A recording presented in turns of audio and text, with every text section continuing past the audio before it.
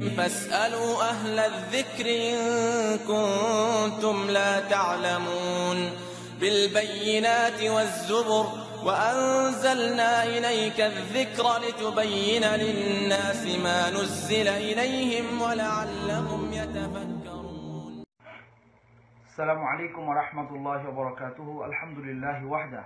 والصلاة والسلام على من لا نبي بعده. أما بعد. সুপ্রিয় দিনী ভাই ও বোনেরা, আশা করি আল্লাহ সুবহানাহু ওয়া তাআলা আপনাদের ভালো রেখেছেন।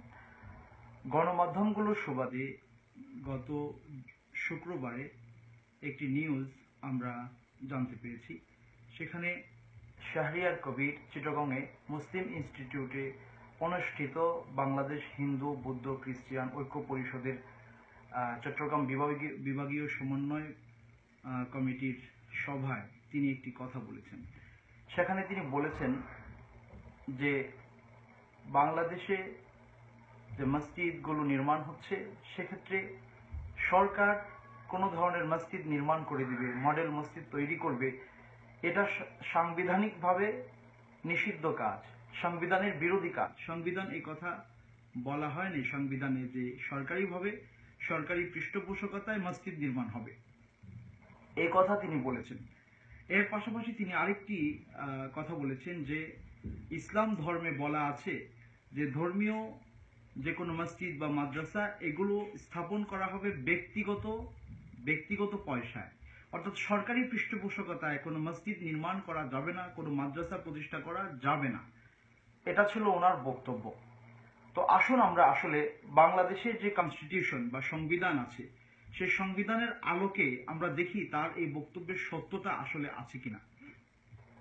বাংলাদেশ যেই সংবিধান প্রণয়ন করেছে, এই সংবিধানের যেই ধারাগুলো আছে, এর মধ্যে প্রথম যে পার্ট দ্য রিপাবলিক, সেই প্রথম পার্টের টু এ আর্টিকেলে একটি চমৎকার বক্তব্য উল্লেখ আছে। সেখানে যে কথাটার উল্লেখ আছে তা হলো এই যে the state religion of the republic is Islam Bangladesh এই গণপ্রজাতন্ত্রী বাংলাদেশের রাষ্ট্রীয় যে ধর্ম সেটা হলো ইসলাম। এরপরে সেখানে বলা আছে but the state shall ensure equal status and equal right in the practice of Hindu Buddhist Christian and other religions বাংলাদেশের সরকারি অথবা রাষ্ট্রীয় রিলিজিয়ন বা ধর্ম হলো ইসলাম। তবে এখানে হিন্দু, বৌদ্ধ, খ্রিস্টিয়ান সহ অন্যান্য যত ধর্ম বা ধর্মের মানুষেরা আছে, তারা তাদের ধর্ম চর্চার ক্ষেত্রে সম অধিকার পাবে। সমান অবস্থানে তারা থাকবে তাদের ধর্ম প্র্যাকটিস করার ক্ষেত্রে। এটি বাংলাদেশ সংবিধানের পার্ট ওয়ানের টু এ আর্টিকেলে উল্লেখ করা আছে এবং পাঁচ নম্বর টিকায় এই কথাটা স্পষ্টভাবে বলা আছে যে the article two A was substituted by constitution এই যে টু এ যে আর্টিকেলটা এটা অনুমোদিত হয়েছে, লিপিবদ্ধ করা হয়েছে সংবিধানের আলোকে, সংবিধান প্রণয়ন করেছে এই বক্তব্যটা। এবং সেটা ফিফটিন্থ অ্যামেন্ডমেন্টে সেটা সেখানে সংশোধনী করা হয়েছে। অর্থাৎ পঞ্চদশ যে সংশোধনী হয়েছে, তখন এই বক্তব্যটা যথাযথভাবে সেখানে উল্লেখ করা হয়েছে এবং আজকে পর্যন্ত সেই সংবিধানে সেই বক্তব্যটা আছে। তাহলে উনি কীভাবে বললেন যে মসজিদ নির্মাণ করা, এটি রাষ্ট্রীয়ভাবে মসজিদ নির্মাণ করা, এটি সংবিধান পরিপন্থী কাজ? আচ্ছা আমরা যদি বলতে চাই, একজন যুবক যখন বিয়ে করে, তখন বিবাহের মজলিসে সে কি বলে? যে আমি কবুল করে নিলাম এই মেয়েকে। তো আমি কবুল করে নিলাম, কথা তো শুধু এতটুকুই বলে, আর তো বেশি কথা বলে না। এখন বিয়ে শাদীর পরে তার বউ যদি তার কাছে খরচ চায়, তার থাকার থাকা, তার খাওয়া, তার বরণ পোষণ তার পোশাক পরিচ্ছেদ, এর জন্য যখন তার স্বামীকে বলবে যে, আমার খরচ আপনি দেন, স্বামী কি বলবে, না, আমি তো এই ব্যাপারে তোমার সাথে একমত হই নাই, আমি তো শুধু তোমাকে কবল বলে নিয়ে এসেছি, এগুলো তো আমি তখন বলি নাই। তখন এই সমাজের মানুষেরা তাকে কি বলবে? যে লোকটা পাগল হয়ে গেছে। কারণ আপনি যখন কবুল বললেন তো কবুল বলার ভেতরে এই যাবতীয় খরপোশ সবকিছুই চলে আসলো। তো রাষ্ট্রীয়ভাবে আপনি যখন ইসলামকে একটা রিলিজিয়ন হিসেবে সাব্যস্ত করলেন সাংবিধানিকভাবে, আমি ইসলামের অনুশাসনের কথা বলছি না, আমি বাংলাদেশের সংবিধানে লেখা আছে, এটা হলো রাষ্ট্রীয় ধর্ম। তো রাষ্ট্রীয় ধর্ম যদি হয়, সেই ধর্ম প্র্যাকটিস করার ক্ষেত্রে যত রকমের সহায়তা, সেটা সরকার দিতে বাধ্য। যেমন ভাবে কবুল বললে পরে কবুল বললে পরে একজন ব্যক্তি তার স্ত্রীর যাবতীয় ভরণ পোষণ দিতে বাধ্য হয়। এটাই বাস্তবতা, এটাই স্বাভাবিকতা। সুতরাং মসজিদ নির্মাণ এটি সরকারি দায়িত্ব। সরকার মসজিদ নির্মাণ করে দিবে। এটি সাংবিধানিক সাংবিধানিক ভাবে স্বীকৃত একটি বিষয়, কিন্তু তিনি সেটাকে এমনভাবে উপেক্ষা করলেন যে মনে হলো যে আমরা বোকার স্বর্গে বাস করছি, আমাদের কোনো পড়াশোনা এই ব্যাপারে নাই। উনি আরেকটা কথা বলেছেন যেটা তার চেয়েও জঘন্য। তিনি বলেছেন যে রাষ্ট্রীয় পৃষ্ঠপোষকতায় কোনো মসজিদ নির্মাণ, এটা ইসলামও বলে না। নাউজুবিল্লাহ জালিক তিনি বলেছেন, এটা ব্যক্তি নির্ভর কাজ। ব্যক্তি এই কাজগুলো আঞ্জাম দিবে।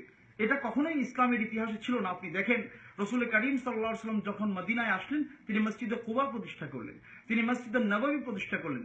অ্যাজ এ তিনি কি কি হিসেবে সেটা প্রতিষ্ঠা করলেন? তিনি একজন রাষ্ট্রনায়ক হিসেবে সেটা প্রতিষ্ঠা করলেন।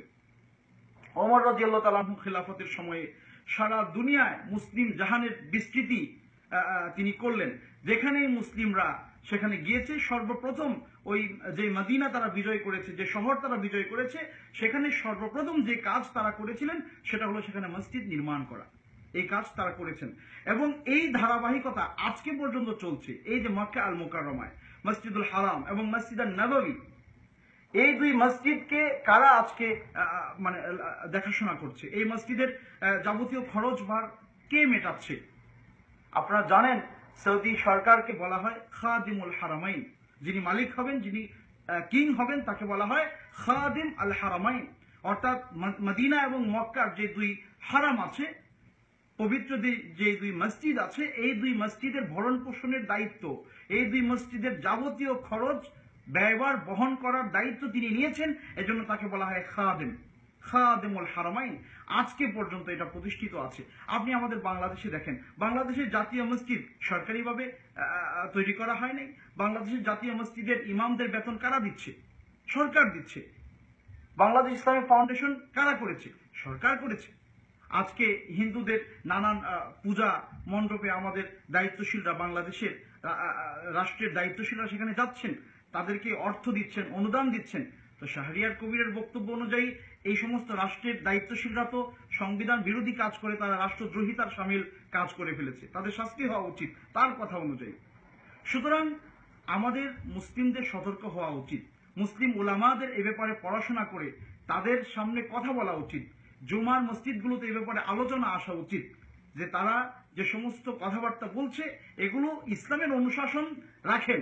বাংলাদেশের যে কনস্টিটিউশন বা সংবিধান আছে, তারও বিপরীত কথাবার্তা তারা বলছে।